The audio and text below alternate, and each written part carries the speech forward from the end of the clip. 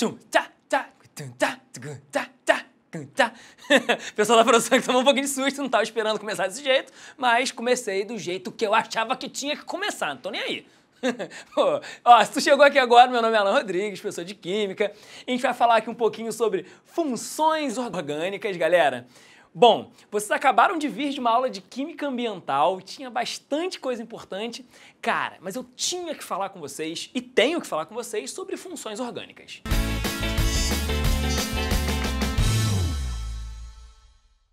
Mas, antes de mais nada, eu tenho um recado importante que eu sempre vou falar e vou falar sempre, tá? Ó, na descrição aqui do vídeo, a gente tem um link maravilhoso para baixar aquele e-book. Gente, de graça!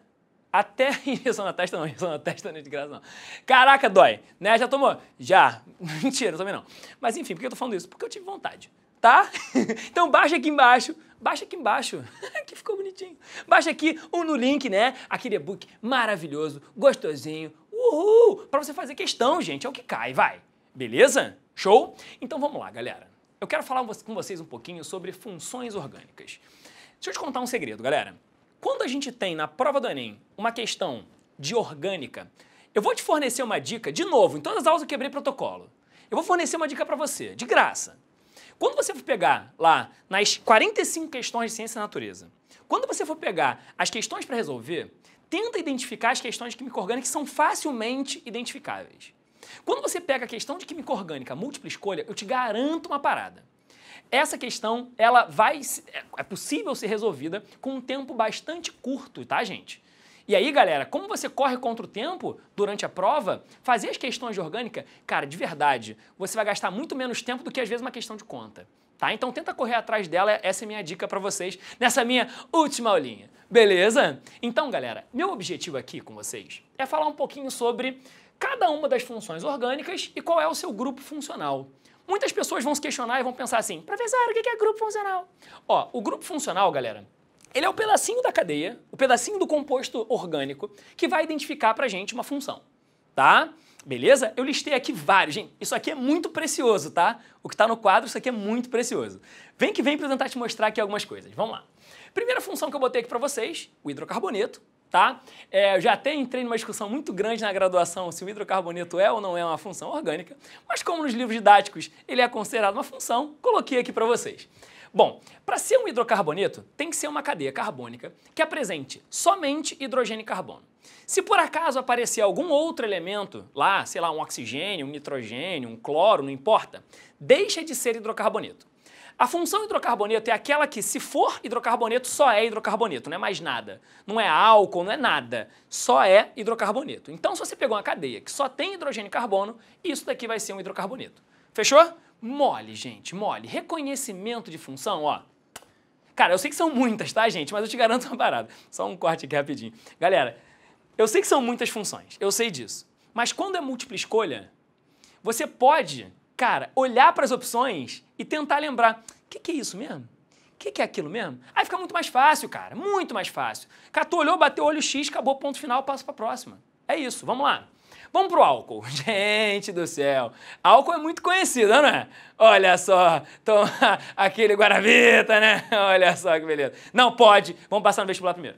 Olha só, quando a gente fala sobre o álcool, o álcool não é só o álcool que o pessoal consome, o álcool que o pessoal bota lá no carro, no posto de gasolina, enfim. Álcool, gente, é uma função orgânica, são vários compostos diferentes. Onde, para você reconhecer essa função, você tem que ter esse grupo funcional que é a hidroxila. Mas calma, porque para ser um álcool, a hidroxila tem que estar ligada diretamente a um carbono saturado, um carbono só tem ligação simples. Fechou? Ficou fácil, não ficou? Vamos na próxima? Opa, enol. Quando a gente fala de enol, é o mesmo grupo funcional, é a mesma hidroxila, só que agora ela está ligada a um carbono com insaturação, um carbono com uma dupla.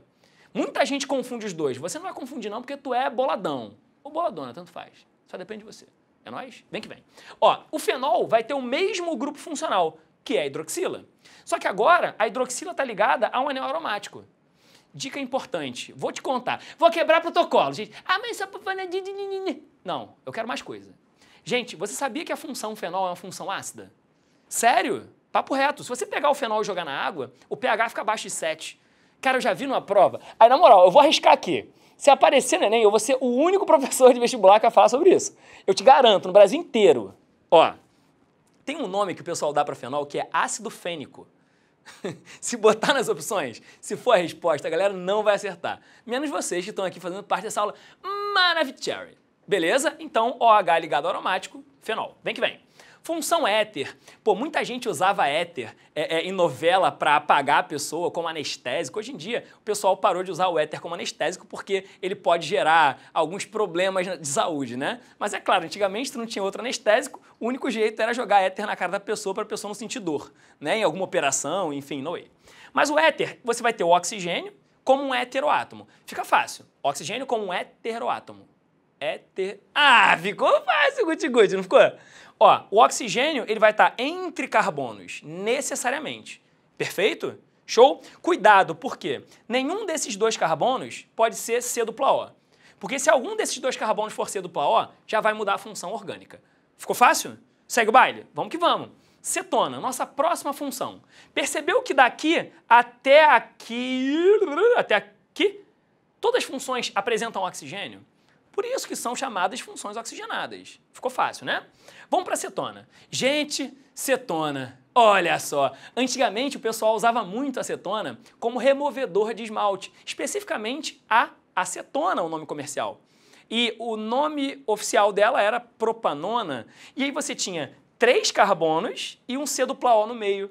Perfeito? Para ser uma acetona, o C dupla O tem que necessariamente estar entre dois carbonos.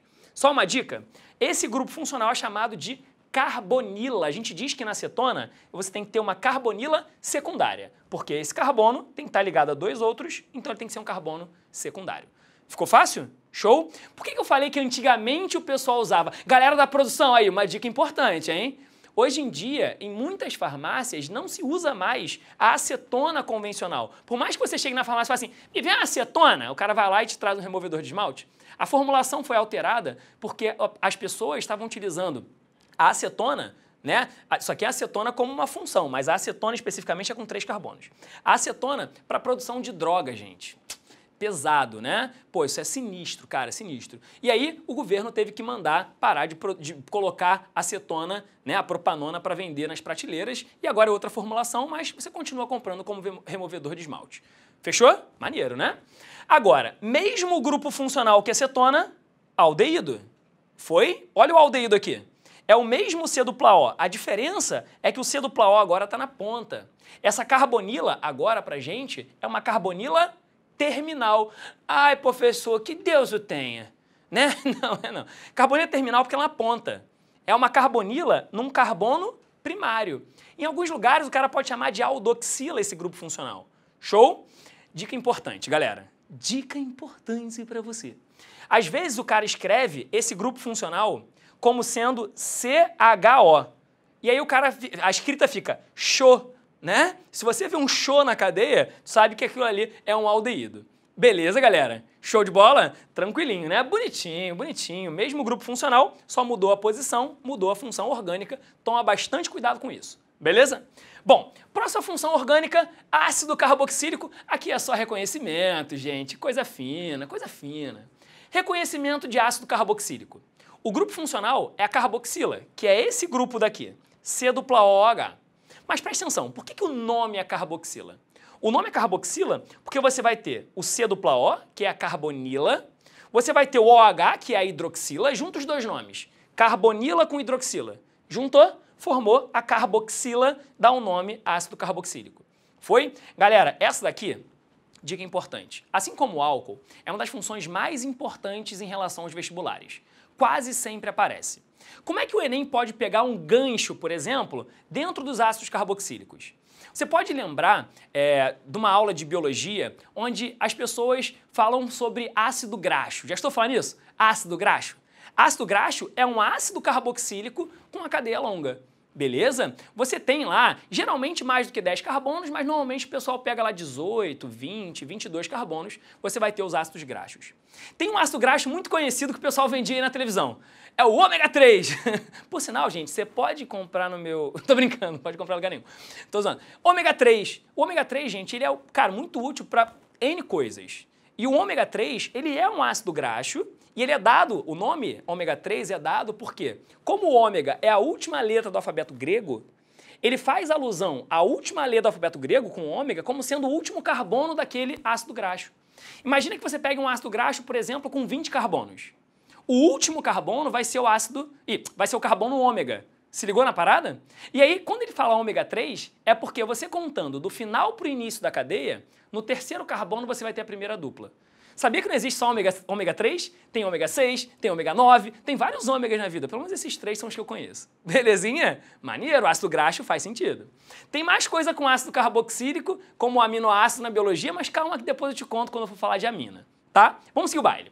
Ó, função éster, galera. Muitos dos flavorizantes, dos aromatizantes, eles são ésteres. Aqueles sabores artificiais, vocês devem conhecer, eles todos são ésteres, cara. Sério mesmo, papo reto. Por exemplo, você comprou lá um chiclete cujo sabor é, sei lá, uva. Tu acha que o cara vai lá e bota uva lá dentro? Claro que não, cara. Ele vai lá, ele sintetiza em laboratório um éster que vai dar o aroma, o, o sabor de uva. Cara, às vezes eu tenho a, a, a sensação, galera, de que é, é, botaram um sabor artificial de uva na nossa cabeça, falaram que era uva, porque não tem gosto de uva, cara.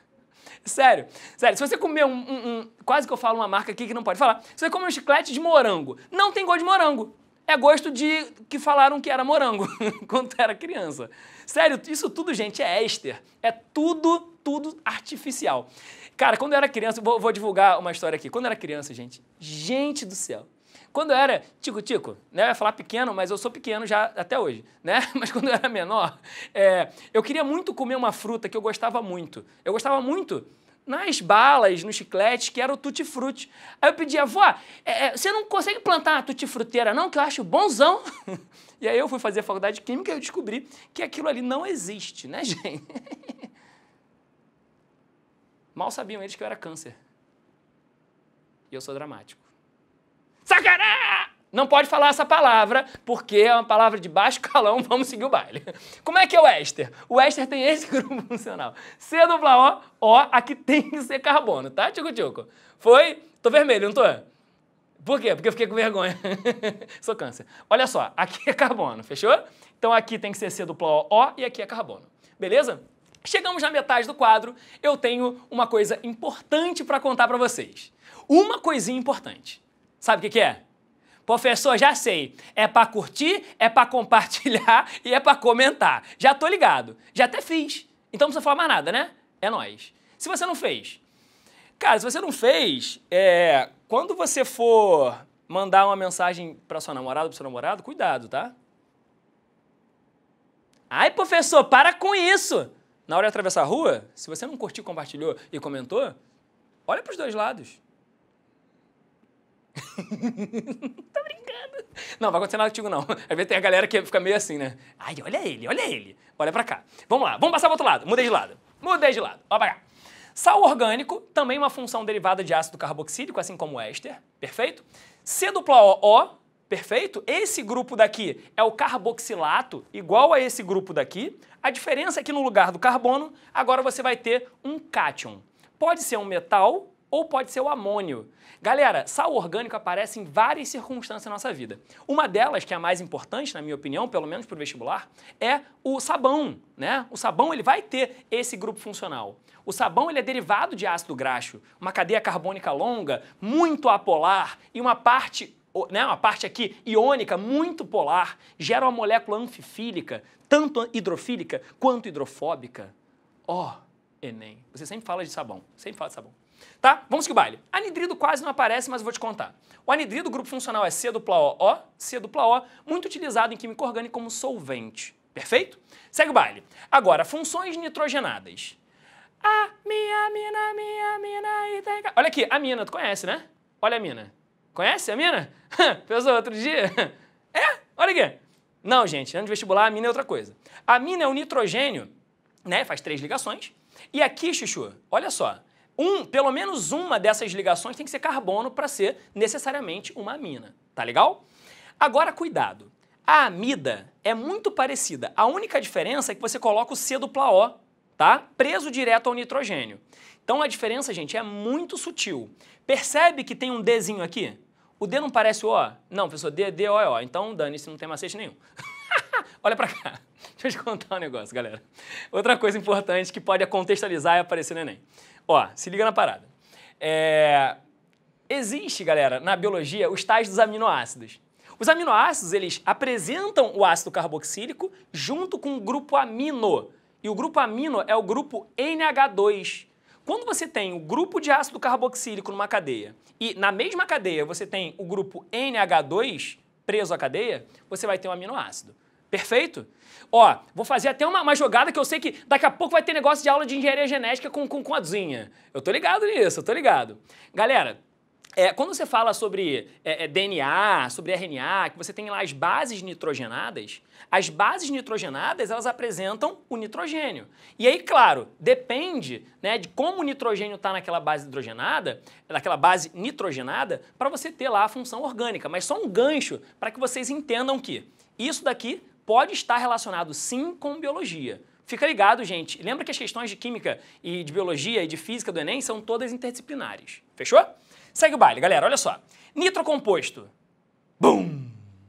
What? Pois é, os nitrocompostos são compostos cujo grupo funcional é NO2 e eles são explosivos. Você deve conhecer, por exemplo, o trinitrotolueno. Ué, pega só as primeiras letras. Trinitrotolueno, que é isso? TNT Energy Drink. Pessoa, é negócio de energético? Não, TNT, tá? TNT de explosivo, tá, gente? TNT de explosivo tem esse grupo. Show? Né? A nitroglicerina, enfim, tem vários exemplos. Show? Nitrila, a fórmula, né? o grupo funcional, na verdade, apresenta o CN.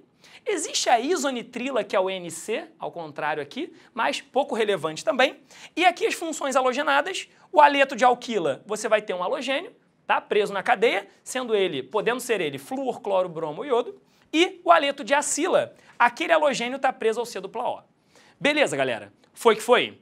Bom, é, deixa eu te contar aqui um segredinho. Te contar um segredinho. Isso daqui, essa aula, é uma aula sobre reconhecimento de funções orgânicas. A pessoa e o lance de nomenclatura? Dá nome para cada um deles. Eu sei que isso cai. Bom, se você quiser saber um pouquinho sobre a nomenclatura desses caras... Tcharam! Ah, focou em mim, hein? Focou em mim, hein?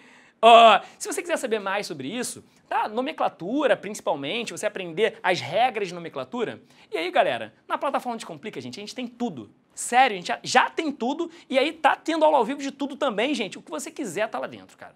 É sério. É, eu costumo dizer, eu falei nos outros vídeos, vou falar de novo, que quer saber a credibilidade de uma empresa, quer saber a credibilidade de algum lugar, pergunta para uma outra pessoa. Não fica procurando coisa, é, vendo coisa para lá aqui. Pergunta para alguém. Pergunta se alguém já usou. Cara, eu confio tanto nisso aqui, sério, eu confio tanto nisso aqui, que eu, eu boto isso à prova. Eu falo assim, mano, procura qualquer pessoa. Já usou? Gostou? E aí? Se você vê que a galera não gostou, beleza, tudo bem, faz parte. Mas é sério, galera, a gente tem muito conteúdo de qualidade. Muito conteúdo de qualidade. Perfeito? Show? Vamos voltar pra gente terminar? Tcharam! Galerinha, galerinha. Essa aqui foi a nossa aula maravilhosa de reconhecimento de funções orgânicas. Eu vou fazer, aqui no, aqui no Descomplica a gente copia com print, né? Porque durante a aula o cara fica lá focadão e aí vocês copiam com print. Eu vou sair um pouquinho do quadro, vocês vão dar um print e depois eu volto, tá bom? Vai lá. Ó, print. Eu odeio tiquiti, eu sempre vou registrar isso para as pessoas não fazerem e eu acabo fazendo. Mas faz parte, tá? Bom, gente, acabou Acabou, mas acabou para mim, né? Porque continua. Daqui a pouquinho o Oda vai dar aula para vocês sobre engenharia genética, gente. Aí, parada maneira, muito frequente também no vestibular. E é isso, galera.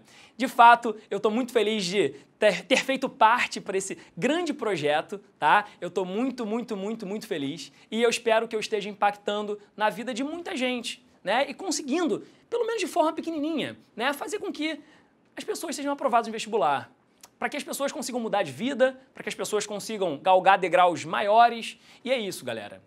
Tá? Valeu?